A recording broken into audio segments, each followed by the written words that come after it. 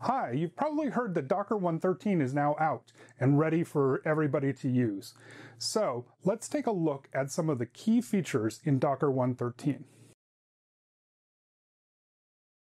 First of all, if you're using Docker for Mac or Docker for Windows, auto updating will take care of installing 113 for you, so you won't have to worry about it. In fact, if you've been using the beta channel of 113, you've been automatically getting 113 and you've been using it for um, a little while now.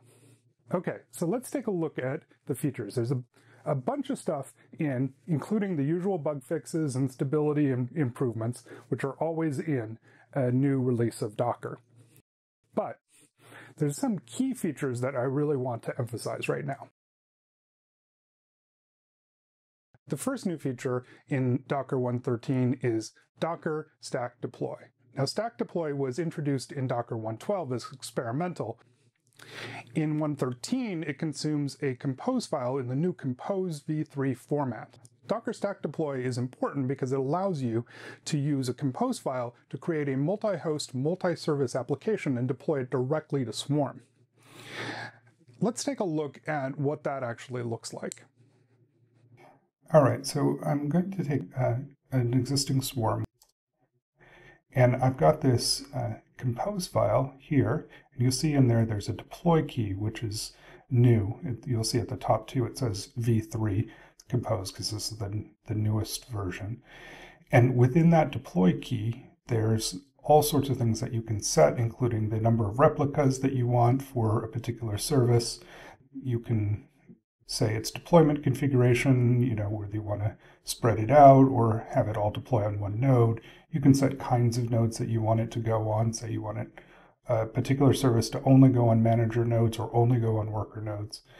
And uh, you can set all sorts of different things. Any, pretty much anything that you can do with swarm mode, you can do in, uh, in this compose file, at least in terms of uh, the services. All right, so now I just use docker stack deploy dash s compose file and give the stack a name. In this case, I'm using vote. And then you can see it populates the services pretty quickly. And then here uh, is the, uh, the swarm visualizer that I wrote to, uh, to visualize the, uh, the physical layout of the application. So now if I go back into the compose file and change the number of replicas to six on the, the voting app,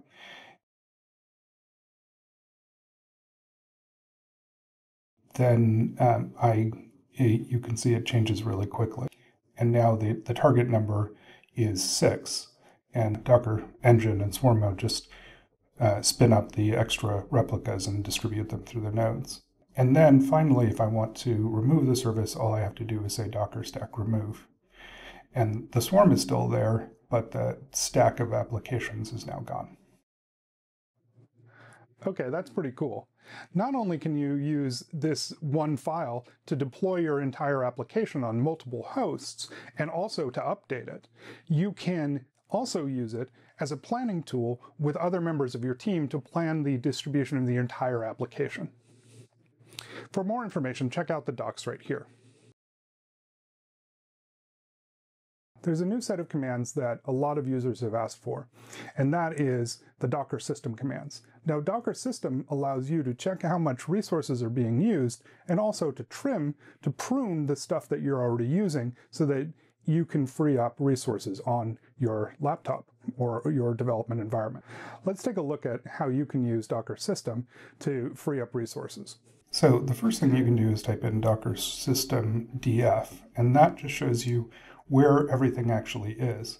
Now you'll see that I have a bunch of containers running, I've got local volumes, and I've got a bunch of images. So uh, this shows me what's reclaimable in terms of the things that aren't currently being used that I could uh, I could go after to, to clean up on my system.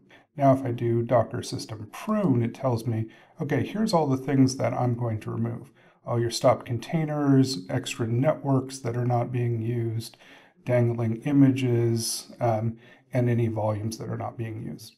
So this is a powerful thing to do, and you want to be careful, of course, because you know if you've got extra volumes and you've got data stored in that volume, uh, you don't want to just necessarily lose it. but chances are um, you're doing this on a um, uh, either on a production machine which is backed up or on your local development environment and you're just trying to clear up and, and free resources.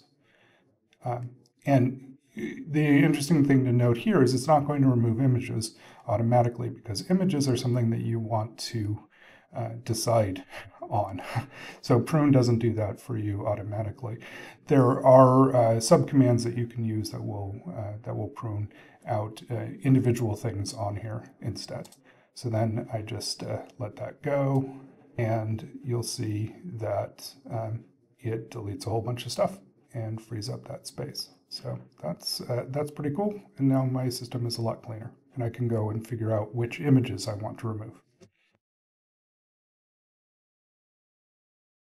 We've also done some work on the user interface. So all your old commands still work, but we've introduced some new commands that parallel some of the old commands to make them more consistent. So for instance, we now have Docker image list, which works the same as Docker images to show you all the images that are available to you. And we also have new commands under Docker build that allow you to say build a network. And also, older Docker clients will now be able to talk to newer Docker servers.